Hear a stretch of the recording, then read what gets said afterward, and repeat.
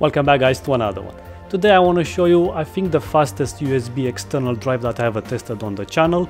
I mean this thing is so fast that I can't even test it on my main rig. I had to rely on a PCI X4 adapter card so I can access the full USB 3.2 Gen 2 X2 bandwidth. So yeah let's play with it.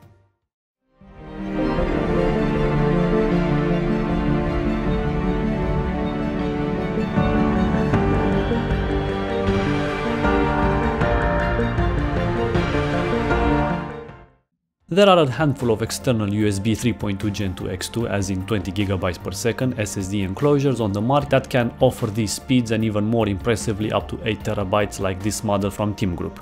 Despite so many new bandwidth protocols, we still don't have USB 20GB per second ports on motherboards as a mainstream feature, so this M20 SSD is almost, if I may say it, like a future-proof item. Alas, let's test it out and see how it performs in real-life conditions. The M200 lineup consists of 6 different size options to choose from, with models from 250GB all the way to 8TB. The one you see in the video is the 1TB variant. The M200 comes shipped in Team Group's popular branding design with a visual depiction of the actual drive on the front. This same drive is nested in the middle of the box with an all blackout scheme. As for accessories, you get just the main essentials, the two USB cables. Just make sure that you are aware that only the Type-C to Type-C cable offers the full 20GB per second bandwidth, while the Type-A to Type-C up to 10GB per second. The overall design takes great inspiration from the popular sniper rifle the CheyTac Intervention M200, hence the same name is used. Even the Picatinny rail system is used as another inspiration, which is not just for cosmetic reasons but also to increase the surface area for cooling. The M200 is very compact and light, at just 83 grams and it's rated up to a 2 meter drop test. Unfortunately, it does not possess an IP rating to further match the rugged theme. This is a Type-C USB port that will offer you up to 20 GB per second if you have a free USB 3.2 Gen 2 X2 port. This is achieved thanks to the inner NVMe M.2 2280 SSD in combination with an ASMedia USB bridge. A Phison E16 controller takes care of the communication to the 96-layer 3D Micron QLC NAND cells and even 2GB Hynix DDR4 DRAM chip is present. The top gap is wide enough to perfectly accommodate a 550 paracord string, again to match with the military theme here. This means you can easily make your own quick portability hacks. Like I mentioned in the intro, the motherboard on my main rig, the Asus B550i Strix, only offers USB 3.2 Gen 2, as in 10GB per second. So to fully test the claimed 20GB per second, I had to resort to my secondary system where I had the Silverstone ECU06 PCIe adapter card. Also Team Group claims that this is compatible with any software, so I decided to start testing exactly that. Here it is connected to my smartphone which took like 7 seconds to appear in my file manager I did a quick test where I copied onto the M200 drive a 2GB video file and as you can see this transfer completed in no time whatsoever.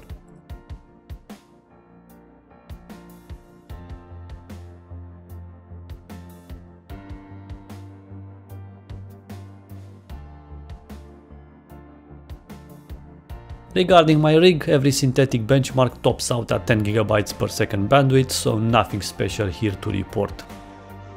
Now here are my real life copy tests. First we'll transfer to the SSD a single 9.5GB video file to test the burst speed, followed by a big 124GB installation folder from Assassin's Creed Valhalla game. In both the burst speed test and even the large file transfer tests, the M200 1TB SSD drive maintains a sustained and constant write speed because it possesses an incredibly generous SLC cache, over 150GB at least from my calculations. So if you even manage to exhaust this cache in one go, it will write at its native QLC NAND cells, which will be around what, 140 megabytes per second. Regarding the operating temps, the M200 behaves really well because the M2 drive inside has a thermal pad that makes full contact with the outer case, thus the whole unit acts like one big heatsink. Using an infrared thermometer, the M200 never went above 50 degrees Celsius even in a hot summer day. Then I decided to test it on my girlfriend's 2020 Apple MacBook Pro M1 13 inch because it has a Thunderbolt 3 compatible port, which should be sufficient to offer 20GB per second bandwidth at least. However, there is a highly known conflict for any drive outside the Apple ecosystem and thus I only got barely over SATA 600 speeds. Finally, after using the aforementioned Silverstone PCIe X4 USB 3.2 Gen 2 X2 adapter card, at last we get to see the M200 performing to its maximum potential. So there you have it guys, the T-Force M200 is one impressive bit of kit since it's compact, light and very fast, as long as you have a Gen 2 X2 USB port. This in itself can be a bad thing or a good one depending how you look at it. Bad as in you might need a PCIe X4 adapter card to fully access the available bandwidth, but you are stuck if you have a gaming console for example.